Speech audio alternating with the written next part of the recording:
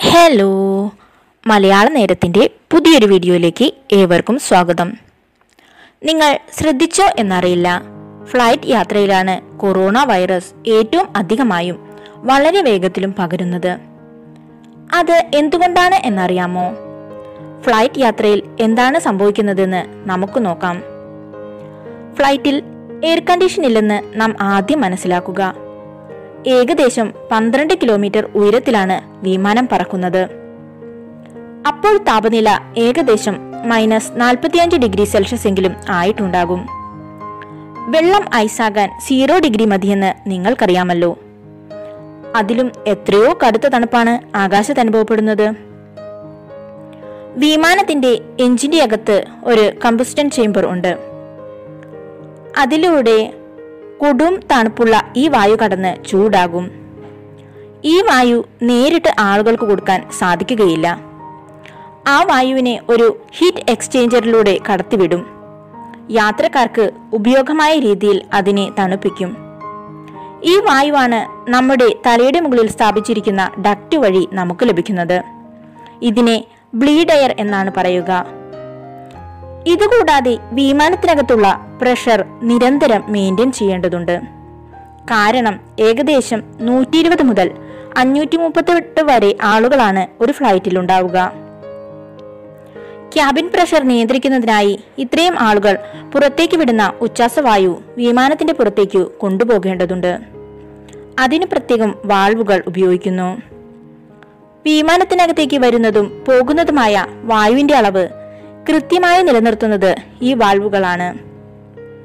അല്പം കൂടി സാങ്കേതികമായി പറഞ്ഞാൽ ഈ വാൽവുകൾ വഴി നടക്കുന്ന എയർ ചേഞ്ച് റേറ്റ് എന്നത് വിമാനത്തിനുള്ളിലെ മൊത്തം വായു ഒരു മണിക്കൂറിൽ ഏകദേശം പതിനഞ്ച് മുതൽ ഇരുപത് വരെ ഇരട്ടിയെങ്കിലും മാറിക്കൊണ്ടിരിക്കണം എന്ന കാൽക്കുലേഷനിലാണ് ഇതിലെ വ്യതിയാനം കാരണമാണ് ചിലപ്പോൾ നമുക്ക് ചെവി അടഞ്ഞതുപോലെയും മൂക്കടപ്പും ഛർദിക്കാനുള്ള ത്വരയും തലവേദനയുമെല്ലാം അനുഭവപ്പെടുന്നത്. എന്തായാലും ഇത്രയും വലിയ അളവിൽ വായുവിനെ അകത്തേക്കും പുറത്തേക്കും ചലിപ്പിച്ചാണ് ഓരോ വിമാനയാത്രയും നടക്കുന്നത്. അതിനാൽ തന്നെ അതിനകത്തിരിക്കുന്ന ഓരോ വ്യക്തിയും അവരുടെ ഉച്ഛ്വാസ നിശ്വാസ വായുവിനെ നിരന്തരം പങ്കിട്ടുകൊണ്ടിരിക്കുകയാണ്. ഇത് തന്നെയാണ് കൊറോണ വ്യാപനത്തിന്റെ തൊണ്ണൂറ്റൊമ്പത് ശതമാനവും വിമാനയാത്ര വഴി ആകാനുള്ള കാരണവും. അത്രയും വെലോസിറ്റിയും പ്രഷർ ചേഞ്ചിലും എക്സ്ചേഞ്ചിലും നടക്കുന്ന കൃത്രിമ ശ്വസന വായുവിന്റെ കൈമാറ്റം നൂറ് ശതമാനം ക്ലോസ്ഡ് ചേംബർ ആയ വിമാനത്തിൽ നിരന്തരം നടക്കുന്നു. ഒരു ബസ് അല്ലെങ്കിൽ ട്രെയിൻ യാത്രയേക്കാൾ വെറും മൂന്നോ നാലോ മണിക്കൂറുകൾ മാത്രം നീളുന്ന വിമാനയാത്രയിൽ നാം വേഗത്തിൽ ക്ഷീണിതരാകുന്നതും ഇതുകൊണ്ടാണ്. ഇതുകൂടാതെ സാങ്കേതിക പ്രശ്നങ്ങൾ വേറെയുമുണ്ട്. വെറുതെ നിർത്തിയിട്ടാൽ കാശ് ചിലവാകുന്ന ഏക വാഹനം വിമാനമാണ്. Landing charge parking charge handling charge job shifting accommodation expense മുതലങ്ങോട്ട് ഒരു വലിയ തുക അതിന് വേണം. അതുകൊണ്ട് വിമാനങ്ങൾ പൊതുവെ നിലത്തു നിർത്താറില്ല. വിമാന കമ്പനികൾ അത് നിലം തൊടാതെ പറപ്പിച്ചുകൊണ്ടിരിക്കും. ഇതിനിടയിൽ ഒരു ലൊക്കേഷനിൽ നിന്നും മറ്റൊരു ലൊക്കേഷനിലേക്ക് പോകുമ്പോൾ എല്ലാ വിമാനങ്ങളിലും വലിയ അണുനശീകരണമൊന്നും നടക്കുന്നില്ല. അതിനുള്ള സാവകാശം അവർക്ക് ലഭിക്കുന്നില്ല. കൂടിപ്പോയാൽ ഒന്ന് ക്ലീൻ ചെയ്യും. തല വെച്ചിരിക്കുന്ന ഇടത്തെ ടിഷ്യൂ പേപ്പർ എടുത്ത് പുതിയത് വയ്ക്കും ഫ്രണ്ട് സീറ്റിലെ ക്യാരി ബാഗും നിലവും ഒന്ന് വൃത്തിയാക്കും.